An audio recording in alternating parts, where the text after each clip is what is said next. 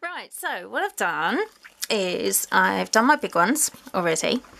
Now I've embossed it with some white embossing powder and then I've sponged the edges and I've done the same on some smaller ones as well. So I'm going to show you how to do those first of all.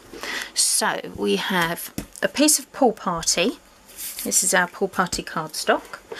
I've already mounted it onto one of our larger blocks. So with some Versamark, I'm just going to plop some of that, splodge it all over on a good, nice, good covering.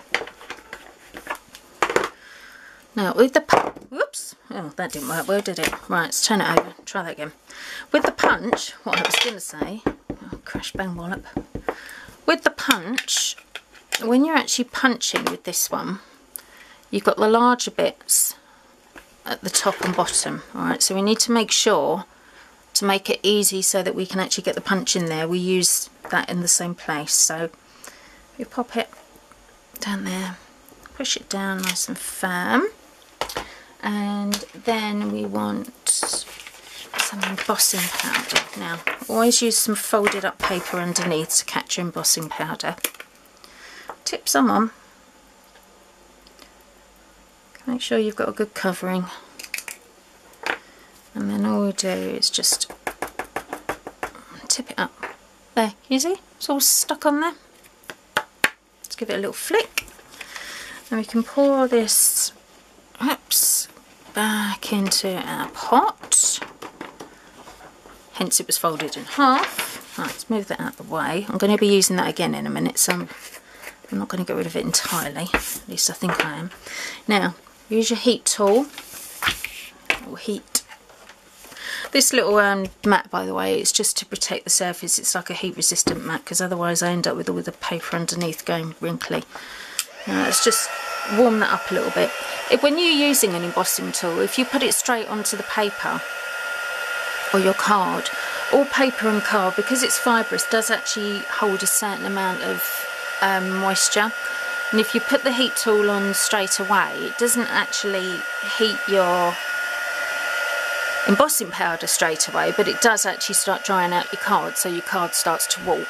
But now we've heated it up a bit, that's better. Now you just move it around so that it doesn't curl your card too much. Oops. And you'll see, just, there we go. Hopefully you can see that on the camera. Just starting to change. There we are. That's loud, isn't it? Right, let's get rid of that. Now then, with our punch,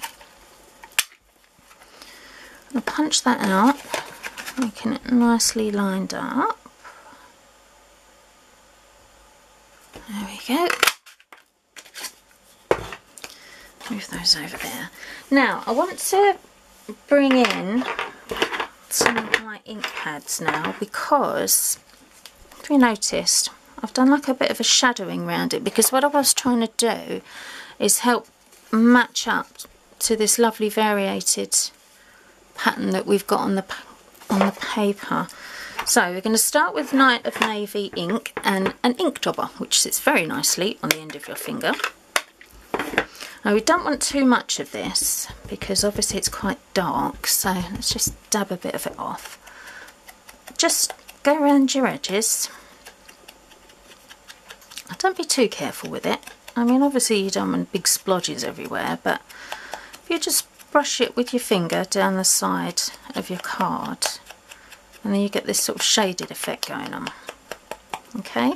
Now these little corners can be a little bit tricky to get to so what I tend to do is rub some of it off and then just using the edge just go into those corners. You want to rub a bit of the ink off first though because otherwise you're going to end up with very very dark corners and it will look a bit bizarre. And there we go. That's it. Right.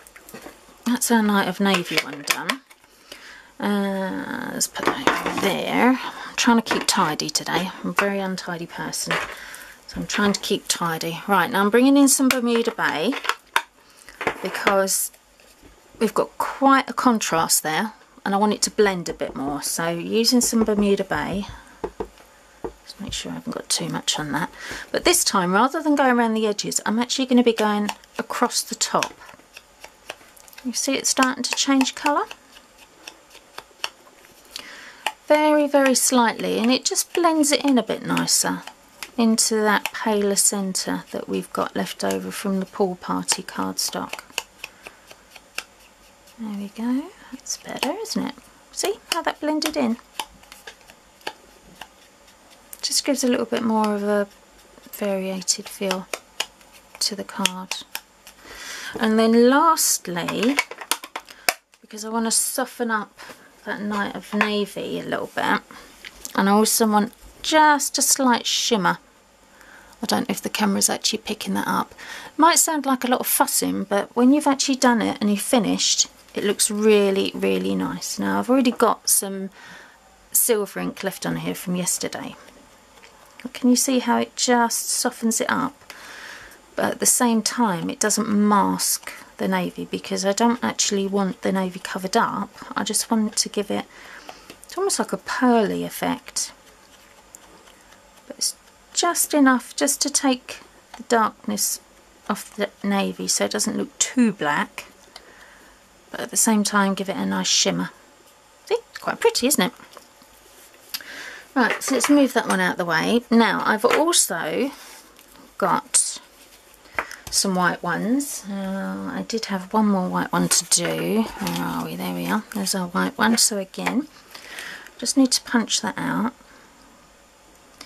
now I've done, I think I've done about 12 of each. One, two, three, four, five, six, seven, eight. Alright, that's not 12, is it?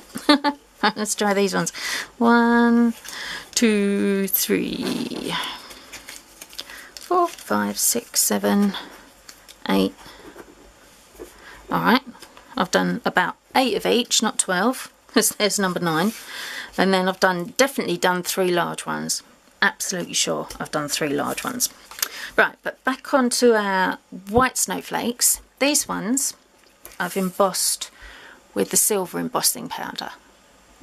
How pretty does that look? Isn't that lovely? I'm actually going to make these into some hanging decorations as well later.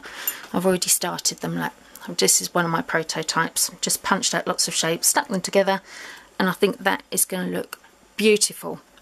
That's going on to one of the um, Christmas banners that I'll be doing soon. So you can see that one as well. Now this is Soft Sky. So again, get a bit of ink on our little dauber and just brush around the edge. Oops. This one's very pale so you might need to a bit more ink on it because obviously you want to see it, but you also want it to be very subtle. There we go. And do you know what else I'm going to do? I'm actually just going to very gently shade just the centre. Only because I want it to give it a bit more of a three-dimensional sort of effect when it goes on. I'm going to run out of ink in a minute, aren't I? The only problem is when you start doing the middle one, if you put too much ink on, you end up with a big blob in the centre. There's always going to be some ink left on your dauber though, so yeah, it's not too sad. There we go. There, that looks pretty, doesn't it? Right, covered in glitter. Why is it when you use glitter it just goes absolutely everywhere?